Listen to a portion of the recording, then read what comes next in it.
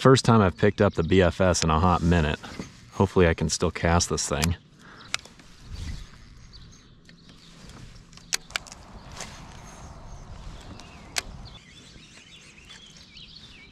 Oh my gosh. Bass rocket launched after this thing. Throw it back in there.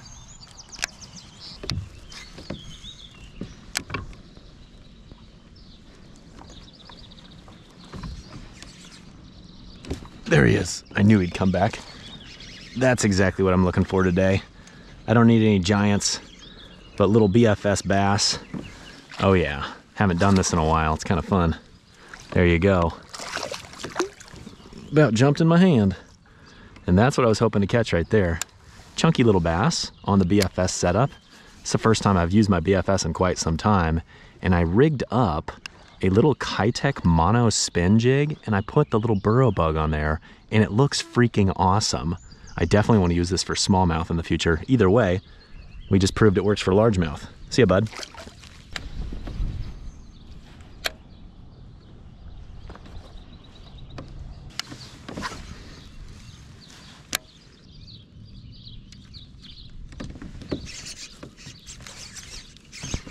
And that's another one. That was a super sluggish bite. I don't know if this is a big fish or what's going on here. I think he wants to be big, but I don't think he is. Oh man, I might need to loosen my drag here. Oh my gosh, he's torching me. He's not bad. He's not bad. And he choked that thing. There you go, look at that. God, he freaking choked that jig. It's probably a little 16 inch bass. The second I saw these little Keitech jigs, I knew they'd be perfect for that Burro Bug. And there you go. See you, buddy. Uh, there's another one. Oh my gosh. I plucked it off the bottom. This guy just kind of hammered it. What the heck is going on? God, they're eating weird. I thought this bank looked good. It's got all that rock in the shallows. And we've already caught two fish on it. Good. Oh, look at there. Right in the upper lip, too. Not a very big fish, kind of skinny looking, but uh, I'll take it. I'll take it. These are about the perfect size for this setup.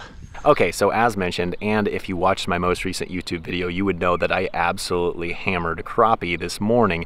That being said, I just switched to this BFS setup right here, and I'm immediately starting to catch some bass, and it took me like five minutes. I've already caught like three of them. It's ridiculous. And I'm doing it on this little tiny micro jig, which is wonderful because this thing is sweet looking. I mostly had high hopes for like river fishing for smallmouth with this, but it's showing a lot of promise for lake fishing uh, largemouth bass so I'll take that as well. Anyways, we're gonna do some BFS fishing. I'm only gonna fish with this BFS setup throughout this video, and I'm really excited because I've been meaning to fish with this thing for some time, and for some reason it's just been sitting in my room, so we needed to change that.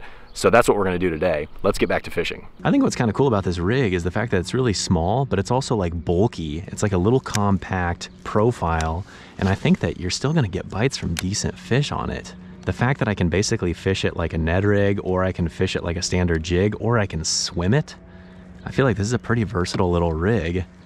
For me, I'm not a huge fan of BFS for like super ultralight stuff. That's why I like to use my ultralight spinning rods. But for stuff like this, kind of that mid-range, like finesse, but a little bit smaller than your typical bass finesse, so kind of like that 1 16th to 3 16th, to me that's like, that's where BFS is gonna be a lot of fun for bass fishing applications. I definitely think I'm gonna catch a fish on one of these docks. Speak of the devil, oh my gosh. I literally was trying to like pop that free of something and this one just hammered it. Golly, these fish are biting super weird. Dadgummit, he shook it. He freaking shook it. I can't believe he just shook that. I thought I had him pinned. That was a decent bass. It was about the size of my bigger one earlier. Probably like a 16 incher. They're kind of just like bellying up to the mud is what I think and they're just kind of slurping this thing. They're not like, oh, there, that one was a normal hit. That was a typical jig bite. No, that's two in a row. Two in a row that shook it when they jumped. I mean, it's a small hook, but I feel like I'm pinning them. Could just be a coincidence. We'll see. If it continues to be an issue, then I got to dial something else in.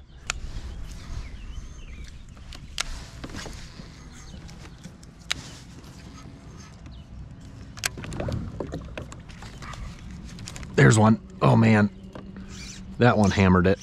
All right, good. Try to keep them out of the air. When they jump like that, that's when problems happen. That's a pretty big fish for a BFS setup. It's kind of like a light power rod, I feel like. Oh yeah. Oh yeah, that's a nice one. Yes, sir. Let's go. I'm glad I picked this stick up. Guess I should have picked it up earlier. It's a nice bass right there. Probably about a 17 incher probably. A couple pounds, maybe two and a half. Not a bad little fish. Two and a half pounder probably. Jeez, feisty bud. See you, buddy.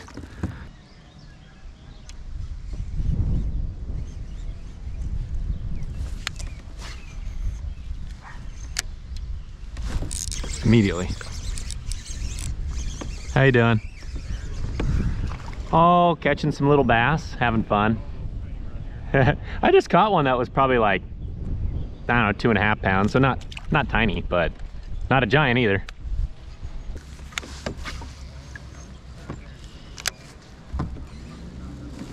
There's another one. Oh my gosh. Look at that. It's a daggum warmouth. God, this place is awesome.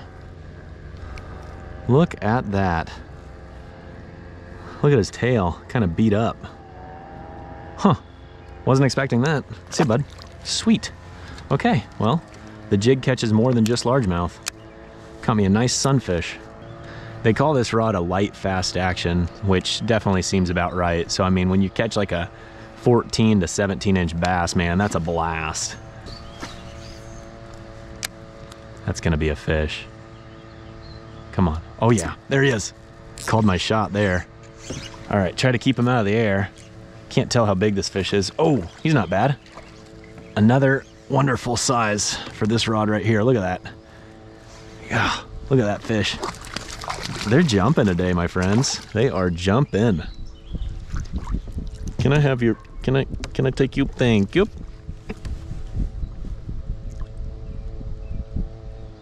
Ew. I just pulled a hook out of his butt. Gross. That was weird. That was a very unpleasant experience for me. And I'm sure he probably felt a little strange himself, but I'm glad I got it out of him. Chunky little fish, and that was disturbing. I don't know what the heck just happened. I didn't know that was gonna happen. I saw there was something hanging out of his butt, so I pulled on it. I thought it was just like a little bit of vegetation. Sure, there was a uh, like a circle hook in him. That was really disgusting. I feel like uh, I really want to throw this in the trash, but I do not have a trash can. So I'm just gonna put it right here. That was weird. I guess some um, bass can digest hooks. Um, huh.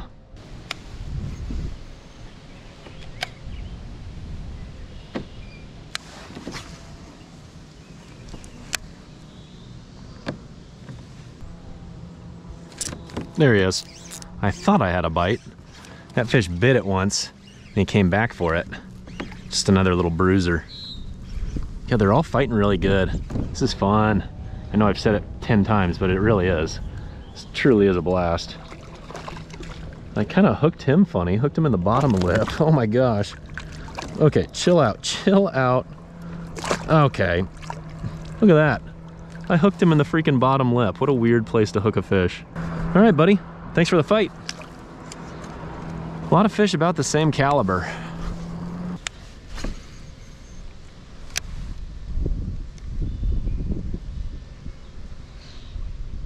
There he is. Oh man. They're starting to hit it a little more aggressively, these last several fish. There we go. Yeah, they're all jumping. Every single fish has jumped, I feel like. Woo! There he goes. Gotta love spring, my friends. There you go. They get a little funky and frisky, my friends. Okay, keep your mouth, stop it. Why you gotta do that? Okay, this fish is so feisty. Look at how he ate that though, my goodness. Freaking wanted it. There we go. Micro jig, micro bass. Good times. Three, two, one, thump it. Get it. There he is. Thought there was gonna be a fish there. Oh wow, it's a crappie. okay. Well, we started the day catching crappie and we're still catching them even on the, the skirted jig. Okay, chill out. Jeez Louise, every fish today is trying to just give me trouble. They are just all twitching like crazy. I got dorsal fin by 50 crappie this morning, I swear. All right, okay. Why? He's on my crotch now, stop it. Ah. Okay, feisty fish, my goodness. Ah. Ay, ay, ay.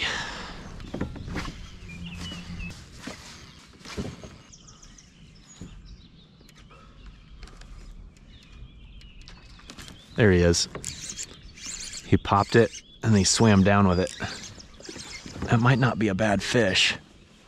I don't just don't know if he realizes he's hooked right.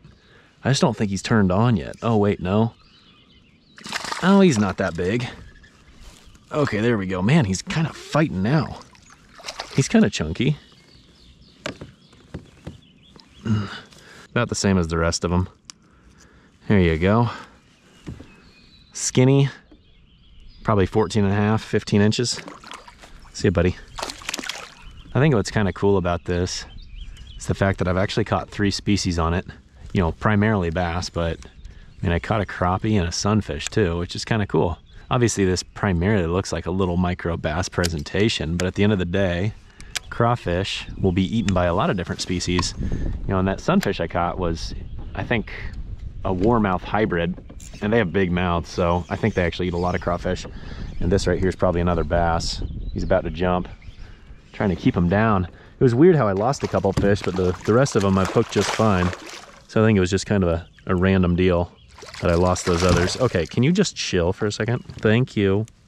Ugh. This is a ugly looking fish. He's kind of beat up. I'm gonna get him right back. Kind of an ugly dude. See ya bud. There he is. Well, what do we got here? Is about like the last one? Yeah, about like the last one, about like all of them. Well, he's even smaller actually, but golly, I feel like he fought harder. They're feisty.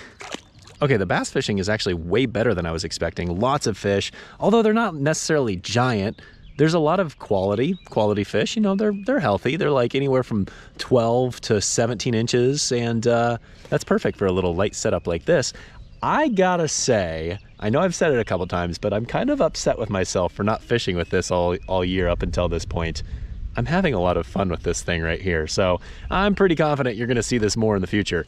Um, anyways, I definitely like this little jig. This uh, little Keitech jig, I feel like it's a nice little profile to where you're gonna catch some quality along the way, but you're definitely get a lot of quantity. Um, and I think anytime those fish are honed in on little tiny crawfish, this little setup right here it's a beauty. Before I forget, I actually had one other thing I wanted to talk to you guys about. I actually now have a website, and I've been meaning to share this, but I keep forgetting. I got to give a shout out to my friend Ramon. He helped me develop the website, so thank you, Ramon Outdoors here on YouTube. I really appreciate your help. He's been awesome. Um, that all being said, the website is basically a place for me to write articles on fishing topics that maybe I don't want to make a video on. You know, maybe I'm going to make a video on something and also write an article, but ultimately the goal is to help you guys with topics and questions questions and that sort of thing. And it's really just going to be an extension of my YouTube channel, except it's going to be written form content as opposed to videos. Make sure to check it out. Make sure to sign up for the email list. I'm not going to blast you with a bunch of emails, but it is a good way to stay in touch and just kind of um, stay on the notification channel. Either way, let me know what you think. Really appreciate it in advance. Let's get back to fishing.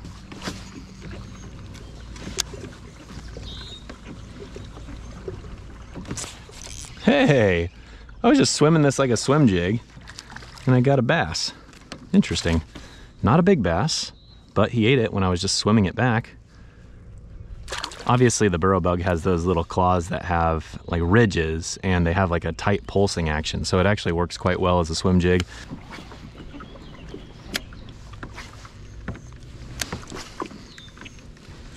There's a fish. What is this? That's a bass. Whoo, he's turning it on now. There's some gasoline in him. He's got some gas in the tank. Look at that rod. Ooh. Ooh, jump. There you go. A lot of fish about the same caliber.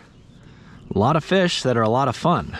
That's what I'll say. This fish has been caught before. He's got a damaged upper lip. All right. Well, buddy, thanks for the fight. I appreciate it. See you later. Good, good, good. Oh, what a day, my friends. Between this video and the video before this one, we've caught a lot of fish. And speak of the devil, we're catching another. Although this one's quite small. Okay, ch chill, chill, chill, chill, chill. Again, micro jig, micro bass. Okay, good, good, good, good, good. What's next? Okay, what's that all about? Sometimes when you set the hook on braid, that braid digs down into the spool just a little bit, creates like one little spot where it's gonna be a little bit tighter. And then you go to cast again and it, it catches on that.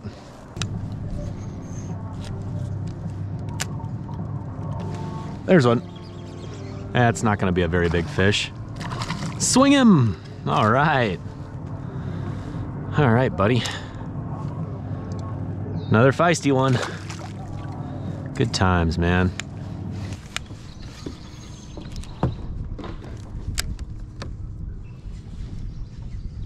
Well, I think that's gonna wrap things up for the day. All in all, I gotta say, I had a fantastic day of fishing. And as it pertains to BFS, I probably should have picked up this rod sooner because I had so much fun with this little thing right here.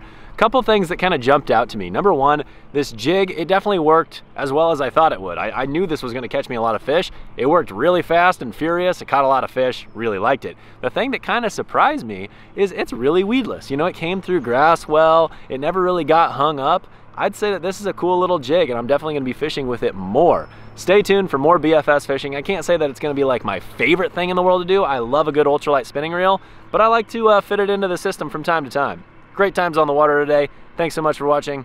We'll catch you next time.